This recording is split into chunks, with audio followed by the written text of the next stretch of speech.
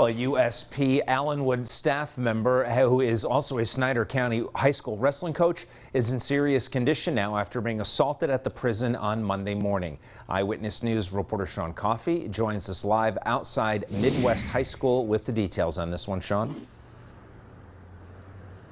Nick, good evening. Midwest West School District Superintendent Rick Musselman confirmed this afternoon that Dale Franke, the high school varsity wrestling head coach, is a staff member at USP Allenwood and is, is in serious condition after an incident there at the prison on Monday. Now, Musselman was unable to provide specifics surrounding the incident, but confirmed that Franke has been hospitalized in serious condition and recently underwent surgery. He said the district was made aware of an assault on Monday and has yet to receive any updates as to the coach's status or the events leading up to that that assault. And he added at this point they're in wait and see mode and they're trying to respect Franke's privacy and keep their thoughts with his family. Now, Frankie has been affiliated with the Midd-West Wrestling Program for over a decade both as an assistant coach and for the past few seasons here as the head coach. Eyewitness News did reach out to the Bureau of Prisons earlier this afternoon. We've yet to receive a response. We'll be sure to provide any updates as to a potential investigation stemming from this incident or from an update on Franke's condition